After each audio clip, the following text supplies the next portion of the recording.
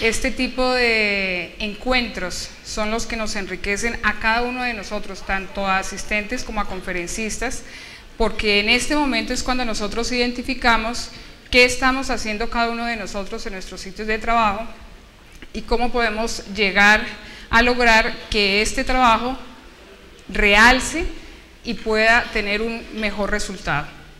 El tema que vamos a tratar a continuación es un tema que de pronto no es muy querido por el grupo completo de enfermería. Creo que algunos eh, pueden tener cierta, cierto temor, diría yo, de enfrentarse a una persona ostomizada que aunque para nosotros es una persona con una enfermedad más, pues resulta que la persona que, o el tipo de paciente que nosotros cuidamos como terapistas enterostomales, es un paciente muy, muy especial y de verdad que si ustedes se arriesgan y dicen voy a trabajar con ese paciente, lo voy a cuidar, seguramente van a quedar enamorados de este tipo de trabajo como lo estoy yo y como lo están muchos colegas a nivel nacional y mundial.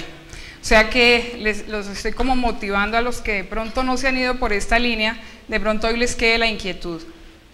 Si en alguna de las instituciones eh, de Medellín, por ejemplo, hay personas en donde dicen, oiga, este programa no se ha implementado, pues yo creo que ustedes pueden llevar la inquietud porque de verdad que en este momento todas las instituciones de salud deberían tener el programa de clínica de heridas y ostomías. Es el único programa que puede ser liderado por una profesional de enfermería, en donde se tiene criterio total de las decisiones que se toman, por lo tanto también somos responsables de lo que hemos decidido, pero también nos da una gratificación maravillosa con la persona que hemos logrado después de haber tratado durante algunos días, algunos meses y a veces con personas que estamos con el cuidado durante años. El objetivo del terapista enterostomal es ofrecer un cuidado integral a las personas con riesgo y lesiones. Miren que aquí ya empezamos con algo muy importante. Nosotros somos vistos como son las que curan. Y resulta que nosotros antes de curar, lo ideal es que llevemos en el pensamiento que debemos ser partícipes del equipo que va a evitar que el paciente tenga lesiones. Y lesiones relacionadas con la presencia de ostomías, incontinencias, fístulas, tubos, drenes y procesos de cicatrización de heridas y abdomen abierto. Si ustedes se dan cuenta, es un grupo bastante grande de pacientes que están bajo la responsabilidad de nuestro cuidado. ¿Desde, ¿Desde qué lugar se va a hacer? Y entonces aquí es donde les vendo que indudablemente su clínica debe tener este sitio que se debe llamar Clínica de Heridas y Ostomías digamos que estamos en la era más o menos hace unos 10 años en que este tipo de cuidado se ha especializado muchísimo y entonces así como se ha desarrollado la clínica de hipertensión, la clínica de, diabetes, este tipo de servicios brindan un cuidado dirigido a un grupo especial de personas. Y si ustedes se dan cuenta desde qué sitio lo vamos a hacer, pues lo vamos a hacer en absolutamente todos los servicios de nuestra institución. Urgencias, el paciente de urgencias puede pasar a hospitalización o se puede ir para su casa. Puede pasar de urgencias a unidad de cuidado intensivo y luego a hospitalización y luego termina siendo el 99% de los casos un paciente de cuidado ambulatorio. Y resulta que en la mayoría de nuestras instituciones el cuidado está 100% eh, eh, asegurado hasta el momento en que el paciente se convierte en persona ambulatoria. Porque o su eh, tipo de pagador o el sitio donde vive, en muchas ocasiones no le va a permitir acceder a nuestros servicios. Parte de la estrategia organizacional nuestra es que, si no todos, más del 90% de los pacientes a los cuales les iniciamos el cuidado en hospitalización o en cualquier parte dentro de la clínica, continúen con nosotros de manera ambulatoria. Siempre pensando que el cuidado es integral, y en nuestro cuidado está involucrado el 100 en el 100% de los casos la familia de nuestro paciente. Es nuestra mano derecha en el cuidado. ¿Cómo acceder al cuidado? Les voy a contar entonces cómo funcionamos nosotros y cómo con el servicio de terapia enterostomal podemos llegar a tener unos resultados óptimos en el cuidado.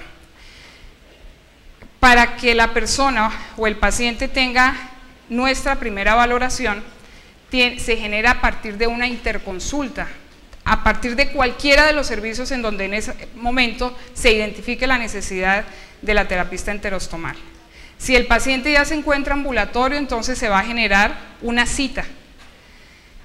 Pero para que nosotros podamos atender a ese paciente debemos tener una autorización. Naturalmente que mientras esté dentro de la clínica siempre va a estar la autorización, o sea, siempre vamos a poder ver al paciente.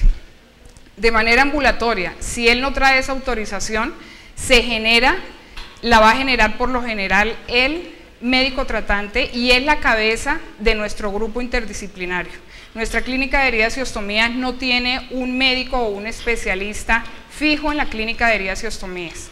El médico que está a cargo del cuidado como responsable médico y legal además en nuestro país es el médico tratante. Una vez se genera esa solicitud o que ya no la hayan autorizado, entonces pasamos a hacer la primera, perdón, la primera valoración de ingreso. En esta valoración de ingreso es bien importante, nosotros vamos a tener una historia en la mayoría de los casos porque los pacientes son nuestros si, ese, si estuvo hospitalizado y vamos a hacer, con base en esta anamnesis, vamos a tener una valoración ya física en donde vamos a tener presente que el paciente tiene una herida o además tiene una ostomía vamos a hacer una valoración del tamaño de la lesión, el tipo de lesión que tiene, si en ese momento tiene signos eh, y síntomas de infección o no, y necesariamente identificar, de acuerdo a las características de la herida, si es, eh, tiene indicación o no de tomar un cultivo.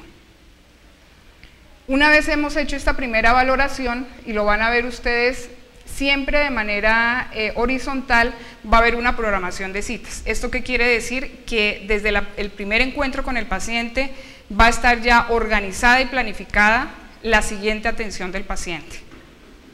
Em, además de esa valoración de ingreso, vamos a hacer una valoración del estado de la piel. Un indicador que tenemos em, en la clínica de heridas es el estado de la piel perilesional. Y es que si esa piel está en perfectas condiciones, está hablando del trabajo y del cuidado que nosotros como terapistas estamos brindando a nuestro paciente. Si una piel está lesionada, algo, en algo fallamos, en la decisión que tomamos en algún momento. Recordemos que si la piel está íntegra, la piel es la que va a favorecer en la etapa final de epitelización, que parece ser la más fácil, pero no es la más fácil, una epitelización rápida y uniforme. Cuando estamos valorando la piel, vamos a identificar si el paciente además tiene tubos de drenaje, qué tipo de fijación externa tiene, el estado actual de la piel perilesional y miren esto tan importante. En abdomen abierto, en pacientes con fístulas, casi siempre vamos a tener presente un compañero inseparable que es la ostomía. El que puede cuidar a un paciente con un abdomen abierto o una ostomía debe conocer muy bien el comportamiento de cualquier tipo de ostomía. Y entonces va de la mano algo muy importante y es que esa valoración tiene que ser de seguimiento. O sea que la valoración no se quedó en la primera consulta, la valoración va consulta tras consulta porque este es un trabajo muy dinámico, es un trabajo tan dinámico que hoy estamos dando el cuidado de una forma y en la siguiente consulta de acuerdo, y lo van a ver ustedes un poco más adelante de manera rápida, pero lo van a ver, y es que siempre, una vez nosotros terminamos una pequeña fase del cuidado a nuestra persona ostomizada o a nuestra persona con una herida abierta complicada, debe haber una evaluación del cuidado, en donde estemos haciendo cambios porque la evaluación nos está diciendo algo está fallando en determinado aspecto. En esa valoración de seguimiento no debemos olvidar qué datos relevantes identificamos en la anamnesis, qué cambios estamos identificando en el tejido, en el exudado. Es posible que el paciente no haya ingresado a nuestro servicio con infección y resulta que pasadas dos semanas identificamos signos de infección. ¿Qué sucedió? Pues eso es otro indicador de calidad nuestro y es que el paciente que ingresa a nuestro servicio sin infección o signos clínicos de infección no debería en dos semanas presentarlos. Ahí eh, datos relevantes en esta anamnesis que seguramente nos va a llevar a decirle al paciente, es muy posible que usted en algún momento presente una infección. En este momento estos pacientes con cáncer muy avanzado son pacientes y pacientes inmunosuprimidos son pacientes que fácilmente pueden contraer una bacteria. Pero en nosotros está que instauremos medidas y tengamos herramientas suficientemente fuertes para evitar que esto nos suceda. Debemos identificar dentro de esa valoración de seguimiento el tamaño de la herida. Nosotros no podemos decir la herida era muy grande, porque para cada uno de ustedes el concepto muy grande es diferente. La única es tener unos datos muy claros, muy objetivos, registrados en la historia clínica de ingreso y que por lo menos, al menos en nuestra institución, en la mayoría de los casos, tomamos como control cada 15 días las medidas en heridas muy grandes. En heridas muy pequeñas en ocasiones tenemos que hacerlo cada 8 días y pues en heridas de pronto de control de heridas muy pequeñas atendidas en urgencias pues seguramente que hacemos dos mediciones nada más porque son dos o tres momentos de atención y finaliza la atención del paciente. Y continuamos entonces con programación de citas y miren aquí quién juega un papel muy pero muy importante. Y es que en ocasiones a nosotros nos lleva o nos ocupa más tiempo la educación que le estamos dando al paciente que la misma atención del cuidado de la ostomía, de la herida de la persona que está frente a nosotros. Nosotros nos establecemos una necesidad, dentro de ese diagnóstico identificamos cuáles son los temas que el paciente en orden de prioridad va a requerir y qué evaluación le hacemos inmediatamente nosotros brindamos la educación. Es decir, que nosotros, el paciente se despide y nosotros decimos, el paciente entendió el 90% de lo que yo le expliqué en nueve minutos del tiempo que determiné para la educación. Ustedes van a decir nueve minutos nada más, nuestras consultas pueden ir desde 15 minutos hasta dos horas de acuerdo a lo que nosotros determinamos por la situación de cada paciente. Continuamos entonces con el seguimiento de la protección de la piel. Seguimos valorando la piel perilesional, Seguimos valorando las características del drenaje. Recuerden que estas características del drenaje y como hagamos el cuidado son las que van a determinar la integridad o no de esa piel perilesional. Y además vamos a identificar si es un paciente con una ostomía complicada o no. Frente a nosotros puede estar una persona ostomizada que no tiene ninguna herida. Algunos dicen ah, solamente tiene una colostomía. Siempre he pensado y siempre les he vendido a las personas con las que en algún momento he tenido una capacitación. Cada uno de nosotros pensemos solamente por un minuto que somos ostomizados. ¿Eso es fácil? Creo que no. Y yo siempre le he dicho, creo que no sería capaz de tener una ostomía. Y si nosotros que la sabemos manejar, si nosotros que nos sabemos cuidar y cuidamos a otros, no identificamos que para esa persona es lo peor que le ha podido suceder en su vida, imagínense todo lo que esa persona está esperando de nosotros como profesionales de enfermería. Em, viene una parte muy importante entonces dentro de esa valoración de seguimiento y es esa intervención que nosotros estamos haciendo si es el caso de una paciente o un paciente con una herida, en donde vamos a seguir haciendo una valoración, vamos a hacer una valoración de las características del vendaje, a nosotros nos pueden decir, mire, dos consultorios funcionando, usted tiene un auxiliar de enfermería en uno y usted está en el otro, el auxiliar de enfermería le retira los vendajes sucios y usted viene e interviene con el otro paciente. Pues resulta que si es otra persona la que a mí me está retirando el vendaje y está observando la herida sucia, se está llevando el 60% de la información que yo requiero para tomar una decisión sobre el cuidado que ese día le voy a brindar a la paciente que tengo al frente. Entonces, realmente el compromiso es desde que yo saludo al paciente hasta que le digo, don Juan, que le vaya muy bien. Y entonces voy a hacer esa valoración y ya estoy determinando qué tipo de limpieza requiere, qué tipo de desbriamiento, si lo requiere o no, y qué tipo de cubierta voy a elegir. Después de esta conferencia hay una conferencia en donde ustedes seguramente van a escuchar algunos de los productos que en este momento el mercado farmacéutico nos ofrece y afortunadamente creo que es una de las áreas en donde más suministros disponibles tenemos especializados para el cuidado de nuestros pacientes. Muchos se deben estar imaginando, ah, no, pues es que allá sí les autorizan que manejen la alta tecnología. No, es que la tienen autorizada para absolutamente todo el país. Lo que pasa es que nos la pusieron más difícil. Llene un documento que se llama CTC, que va al Comité Técnico Científico. Bueno, pues eso hace parte de la estrategia organizacional y es que el servicio tiene que estar preparado para diligenciar este formato junto con la cabeza del cuidado que es el médico tratante del paciente. O sea que a nadie podríamos negarle utilizar alta tecnología. ¿Y cuál es, en este proceso de enfermería, cuál es nuestro objetivo? Lograr la mejoría de nuestro paciente. ¿Y cómo lo logramos después de que nosotros hemos identificado un diagnóstico previamente con un objetivo muy claro y razonable y que sea eh, viable? Hacemos unas actividades, las llevamos a cabo y siempre las estamos evaluando. Nosotros no somos perfectos y podemos tener errores, pero la idea no es darnos cuenta un mes después que tuvimos o tomamos una mala decisión con, nuestro paciente. Cuando nosotros hablamos de una persona con una herida crónica de meses o de una persona ostomizada, no nos queda corto decir que hacemos parte de un equipo que trabaja en pro de la rehabilitación de la persona. Y entonces pensamos, ¿cuál es el cuidado de una persona ostomizada? Nosotros ya vimos, y ustedes estarán diciendo, bueno, ¿y entonces qué papel jugamos las enfermeras de los servicios, de cada uno de los servicios que vimos?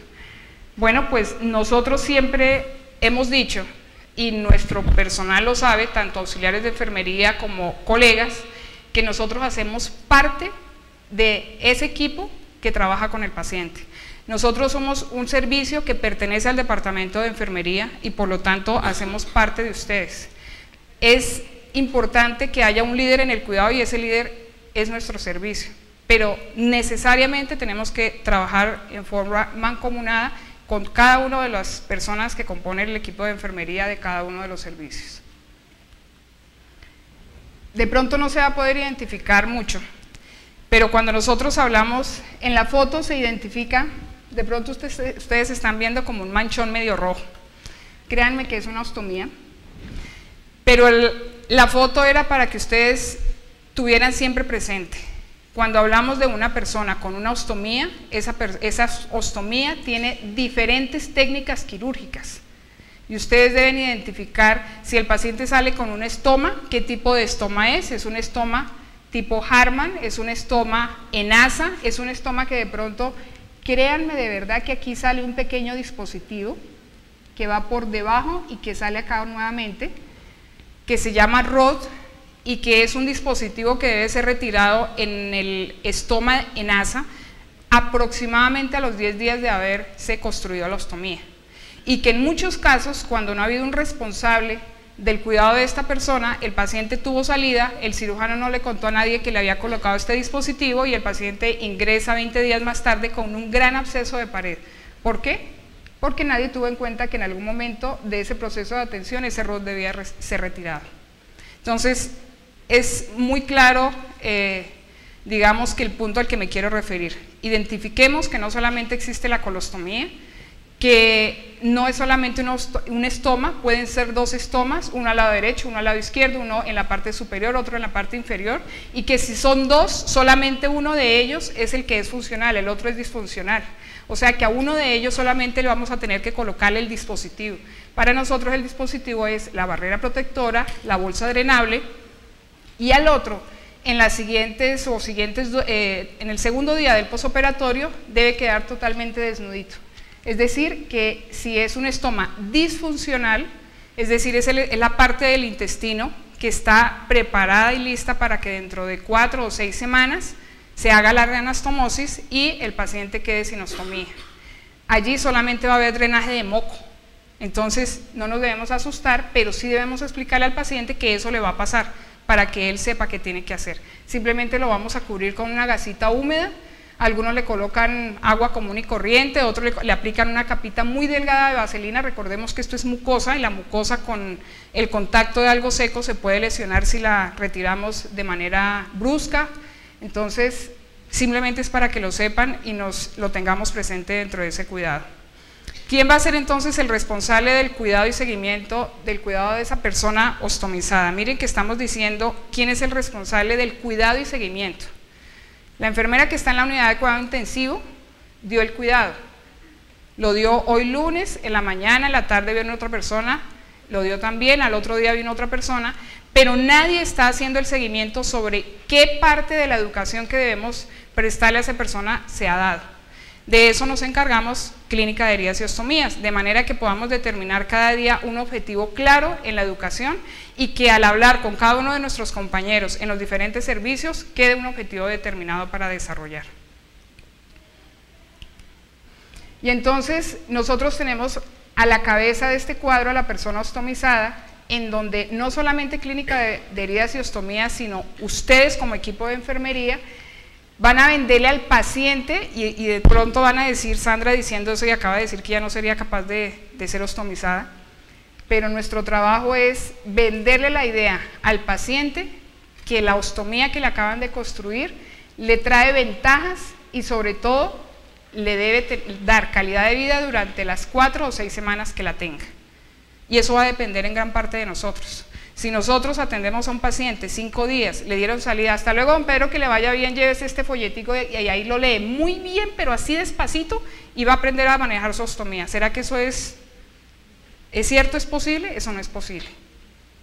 Entonces, realmente vamos a necesitar que esa persona ostomizada esté trabajando de la mano con el grupo interdisciplinario y con su familia.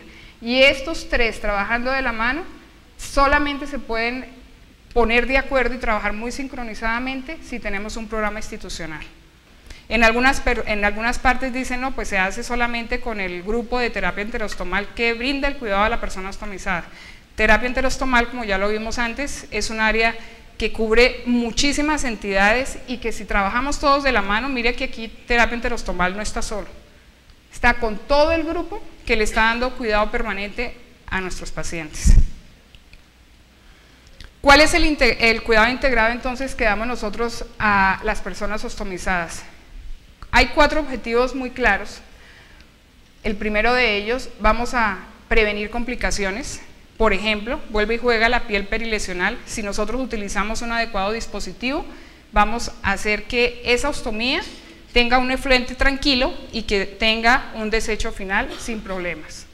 Vamos a motivar al autocuidado y entonces para nosotros es regla de oro que la persona desde el primer momento en que está en condiciones de empezar a recibir la educación, sea ella misma la que se haga el autocuidado, estando hospitalizado.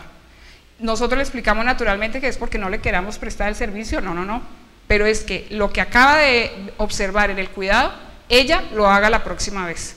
De manera que cuando el paciente ya tenga salida, él ya está muy apropiado de su nueva situación y seguramente le va a costar un poco menos poderlo llevar a cabo. Vamos a identificar el dispositivo adecuado. Todos pensamos una barrera y simplemente una barrera. Bueno, en este momento yo creo que hay uno de los stands que nos deja ver la cantidad de productos disponibles que hay para el cuidado de una persona ostomizada. O sea, en este momento no hay razón por qué un personaje llega a un servicio de urgencias con una o dos complicaciones porque fue imposible el cuidado de la ostomía. Pueden haber problemas en el sitio donde se identificó, puede haber problemas en la cantidad del efluente que hay, todo eso puede ser manejado con dispositivos muy específicos. Y, como les decía anteriormente, ser partícipes para favorecer la rehabilitación de nuestro paciente. Esta es una paciente y la foto fue tomada en agosto la clínica de heridas de la Fundación Santa Fe cumplió nueve años y medio. Em, esta paciente fue ostomizada hace siete años. En este momento yo creo que por las características de su piel se dan cuenta, es una paciente que tiene 76 años y desde el primer momento ella se apersonó como su cuidadora. Ella identificó que no necesitaba a nadie que la pudiera ayudar y que si tenía la familia que había aprendido también muy bien el cuidado de la ostomía, iba a recurrir a ella cuando ella por alguna circunstancia no lo pudiera hacer. Recurrió a nosotros siete años después, ¿por qué?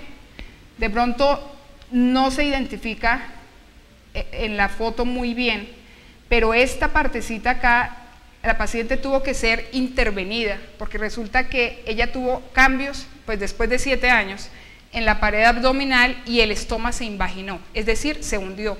Y es una urostomía, es decir, que es un drenaje líquido, totalmente líquido y permanente. Llegó con la piel en una dermatitis severísima.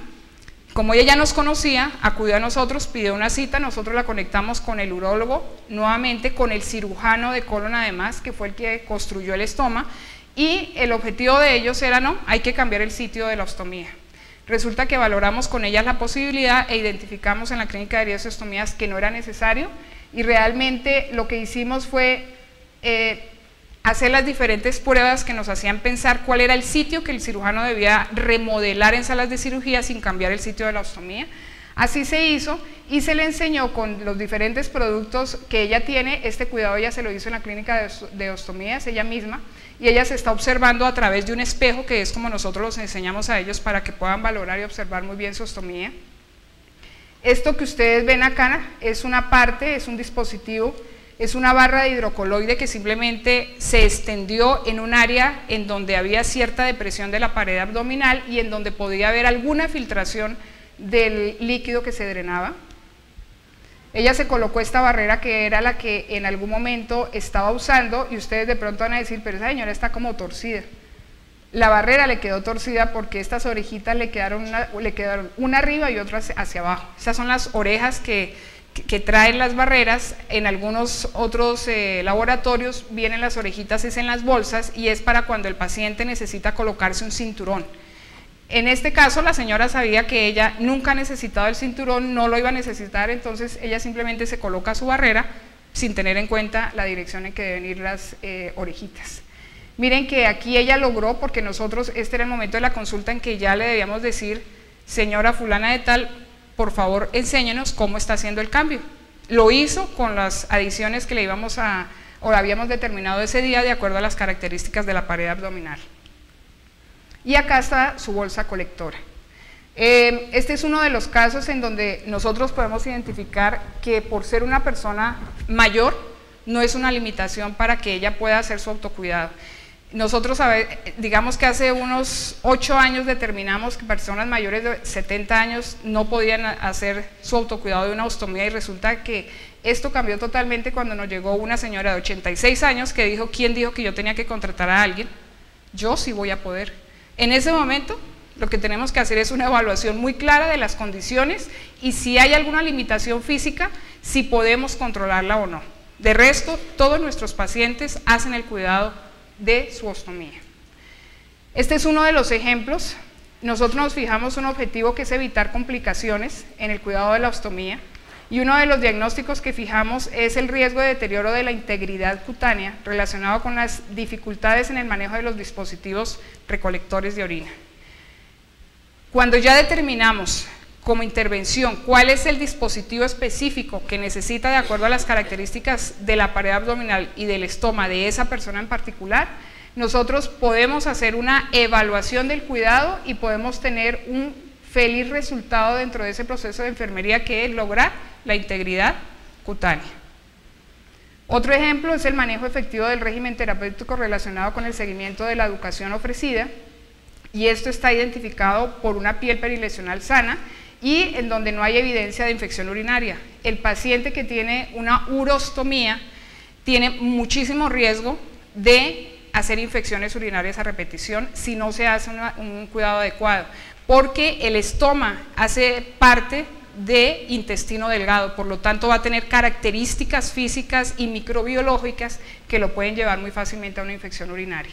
Entonces, en este caso, después de hacer una buena intervención con evaluación, debemos salir nuevamente con una piel perilesional sana y que efectivamente el paciente, como la señora que ustedes vieron en la fotografía, nunca ha presentado un episodio de infección urinaria. Em, otra puede ser el riesgo de alteración de la perfusión tisular del estoma relacionado con tensión en la sutura del borde mucocutáneo. ¿Y qué es lo que nosotros identificamos a la valoración? Una necrosis del estómago. Entonces, nuestra intervención en este caso, de este diagnóstico dado, se da en las primeras horas del posoperatorio inmediato, el mismo día de la cirugía. ¿Y cómo se hace? A través de una, de una valoración física. Si nadie en las primeras horas se acercó a ese paciente, descubrió el estoma y lo valoró, puede pasar desapercibido una necrosis y por qué no, no solamente una necrosis del estómago, una necrosis intestinal que lo puede llevar a la muerte.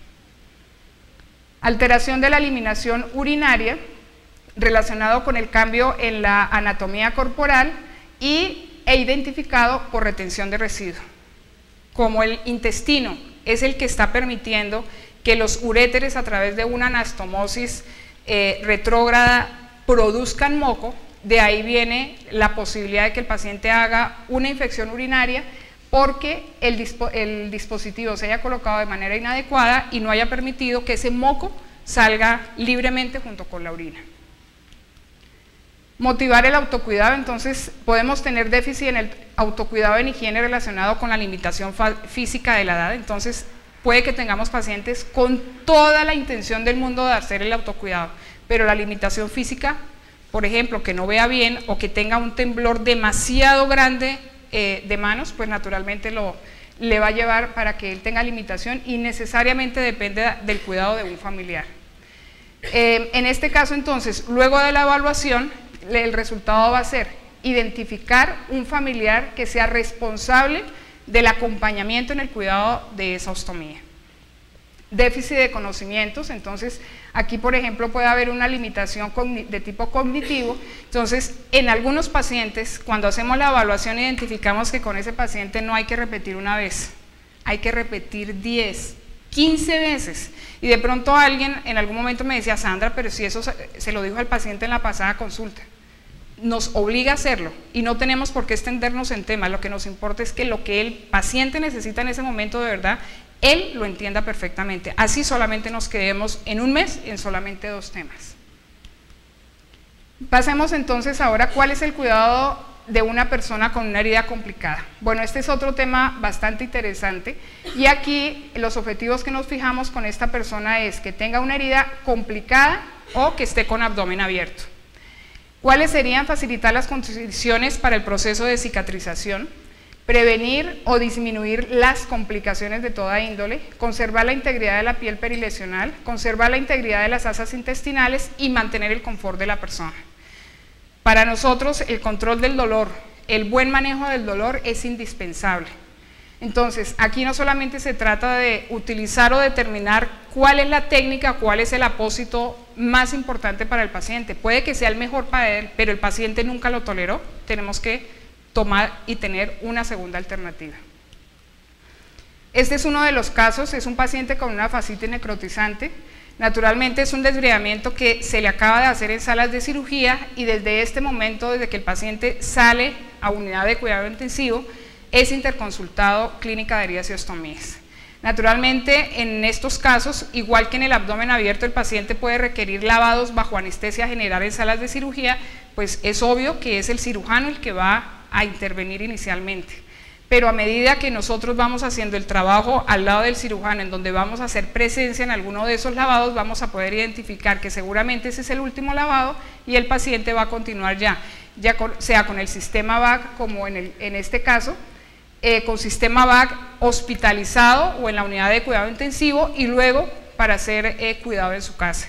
Y en qué momento, como lo dijo María Cristina en este momento, determinamos que ya no necesita más el sistema VAC, sino que va a un cierre tardío para que el paciente naturalmente tenga una recuperación muchísimo más rápida. Identificamos entonces acá, basados en los objetivos que nos fijamos, un deterioro en la integridad de la piel relacionado con la pérdida extensa de tejidos blandos.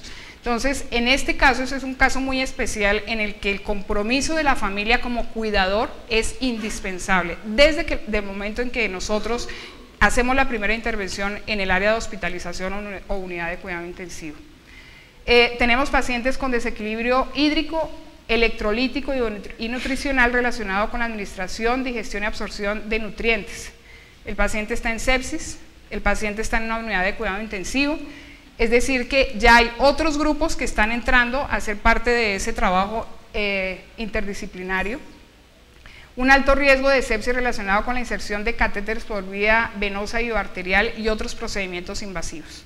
Nosotros estamos si no damos el cuidado para hacer, por ejemplo, la curación de un catéter por vía central, sí identificamos factores de riesgo junto con el equipo de enfermería para determinar, mire, esto que estamos haciendo de esta manera lo puede llevar a que el paciente tenga una infección de catéter más fácilmente, naturalmente relacionado con el procedimiento que nosotros estamos haciendo. Este es otro paciente, eh, es un paciente que tuvo una infección severa de tejidos blandos, es un paciente de casi 80 años, con marcapaso, diabético, hipertenso, que simplemente empezó por una pequeña lesión de medio centímetro y que le comprometió finalmente el antebrazo derecho. En este momento identificamos claramente, se hizo un desbridamiento, lo hicimos nosotros como terapistas enterostomales, identificamos el área de necrosis que ocupaba la herida y se le hizo, si ustedes ven las fechas, en este momento estamos aquí en el día 17 de marzo y aquí estamos el día 25 de marzo con estos resultados. Es un paciente que solamente estuvo hospitalizado mientras se identificó que la infección estaba controlada, continuó con antibiótico en el domicilio y él no quiso que, eh, digamos, que otra entidad fuera a su casa, sino que él iba a clínica de heridas para seguir siendo atendido por nosotros y fue un paciente que estaba ya programado para injertos, no hubo necesidad y terminó felizmente pues con una cicatriz que todavía no le he tomado la foto de, cómo quedó la, la piel, pero es una piel que nunca pensé que por la lesión que había hecho pudiéramos terminar con tan buenos resultados. Aquí logramos un buen desbridamiento y una buena epitelización con el uso de alta tecnología, apósitos que nos suministra el comercio. En este tipo de pacientes vamos a ver algo muy importante que es el dolor crónico relacionado con una experiencia sensitiva emocional desagradable secundaria a esa gran lesión de tejido tenemos alteración de la percepción de sí mismo relacionado con cambios en su imagen corporal. Nosotros no somos psicólogos, podemos hacer una intervención hasta cierto nivel, pero necesariamente, y por eso dentro de nuestro grupo tenemos psicólogos, hay una psicóloga específicamente que está dando soporte a esa persona que con este diagnóstico, pues imagínese eh, todo lo que por su mente y su cabeza puede estar pasando en algún momento y que puede influir positivo o negativamente para la recuperación un afrontamiento ineficaz de la enfermedad relacionada con sentimientos de derrota y pérdida de la autoestima. Es decir, que todos los días tenemos que hacer que se prenda ese motorcito para que todo marche sin problemas. Este es un caso de una paciente que tuvo una fístula enterocutánea que se manejó con sistema VAG las primeras cuatro semanas, pero luego por la consistencia del efluente ya las espumas se tapaban muy fácilmente, entonces lo hicimos simplemente eh, colocando barreras protectoras era un área totalmente invaginada que tenía 7 centímetros inicialmente de depresión, o sea que no había ninguna barrera que nosotros le pudiéramos ubicar. O sea que por eso es que ustedes ven toda esta escalerilla de elementos tratando de llegar a la superficie de la piel para finalmente colocar unos colectores y poder colocar unas bolsas que nos permitieran la cuantificación del fluido. Miren ustedes la condición en que siempre permaneció esa piel y era una paciente que producía un efluente entre 800 y 1000 centímetros cúbicos en 24 horas. Era una fístula gástrica, parecía combinada también con la eh, primera porción del intestino y que pues orgullosamente pudimos eh, hacer que el cirujano la pasara a cirugía y cerrara finalmente su fístula con riesgo de la lesión de la integridad cutánea. Mire, hemos hablado de integridad cutánea cuántas veces? Creo que como 30. Pero es que si hay una buena integridad cutánea, se va a hacer un cierre pronto y el paciente va a tener naturalmente menos riesgos de infección. Esto que ustedes ven acá es un abdomen abierto cuando se está manejando con una bolsa de Bogotá o la bolsa Biafres. Resulta que en este momento también terapia enterostomal tiene que identificar cuándo esa bolsa Biafres se tiene que retirar y si en algunos casos, por ejemplo, nosotros ya no manejamos esta bolsa de Bogotá, se maneja con el sistema VAC y el paciente es pasado a cirugía para cierre de la pared abdominal, o sea que ya no tenemos esas heridas cruentas que demoraban en cerrar cuatro o seis meses. Identificamos cuando hay un abdomen bloqueado, es decir, en este momento es cuando se debía retirar la bolsa Biaflex, no cuando las asas intestinales estuvieran todavía expuestas, aquí ya están bloqueadas por tejido de granulación y cuando de pronto puede ser una buena alternativa de acuerdo a la cantidad de exudado para continuar unos días más con el sistema VAC, suspenderlo y continuar con curaciones por segunda intención porque nunca se fue permitido cerrar la pared abdominal por la condición del paciente. Identificamos otros diagnósticos, creo que tengo que salir corriendo porque ya el, el aparatico me lo está avisando, esto ustedes lo van a recibir, entonces van a poder constatar de los diagnósticos que ya hablamos. Y aquí les quiero mostrar rápidamente qué nos ha permitido a nuestra clínica, la, clínica de heridas y ostomías. Nos da ventajas institucionales, prestigio institucional, un desarrollo profesional que ustedes no se imaginan hasta dónde puede llegar, un desarrollo científico y tecnológico de cada uno de, los elementos que están bajo nuestra responsabilidad en la utilización, liderazgo dentro del grupo de atención, un costo-beneficio asombroso porque solamente lo que se le cobra al paciente es lo que realmente se utilizó sin desperdicio y satisfacción de las aseguradoras. En este momento, otro indicador que tenemos de servicio es cuentas glosadas, vamos en 0% desde que arrancamos, porque todo va justificado y todo va con presentación de resultados. Tenemos eh, ventajas institucionales como indudablemente somos fuente de investigación, somos eh, un programa que en donde se desarrollan programas educativos y en donde pueden ir estudiantes a hacer pasantías de diferentes sitios. Muchas gracias.